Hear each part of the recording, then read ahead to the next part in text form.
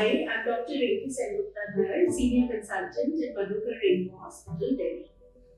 Uh, as you all know, uh, human papillomavirus infections are quite common. They're sexually transmitted.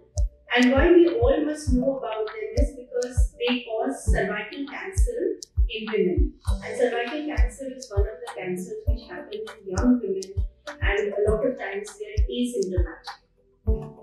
Although uh, human papillomavirus vaccines against HPV infection has been available for many years, still the utility is quite low.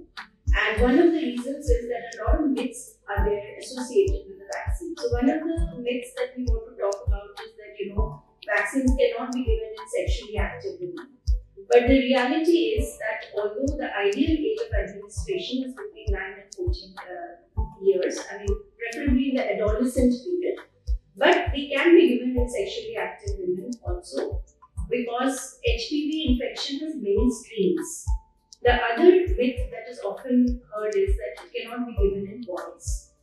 The newer HPV vaccine can be administered in boys because along with cervical cancer, the vaccine gives protection against penile cancer, anal cancer, and uh, even some oropharyngeal cancers.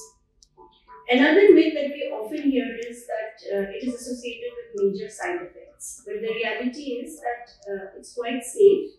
And apart from some local effects, majorly HPV vaccines don't cause problems.